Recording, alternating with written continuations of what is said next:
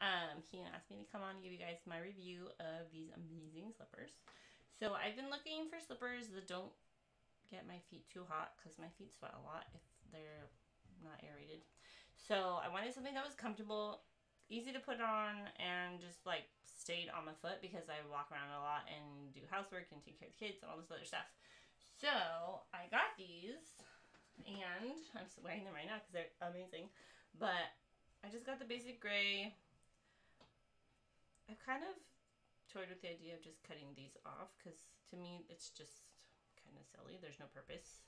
It's purely decorative and that's not really my thing, but whatever.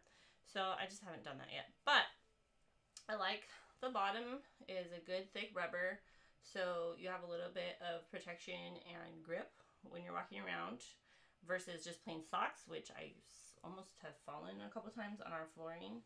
Um, but inside they have a nice cushy foam. So when you first pack, open the package, you're like, ooh, that's really thick. Like it's kind of almost uncomfortable when you put your foot in there. But as you wear it, like the first five minutes, it like forms to your foot more, and it's just nice, like super comfortable.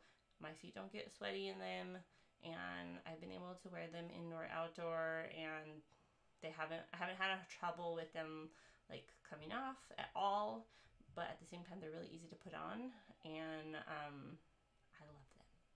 So if you're looking for a good house slipper, I highly recommend. All right, hope you're having a good day. Bye.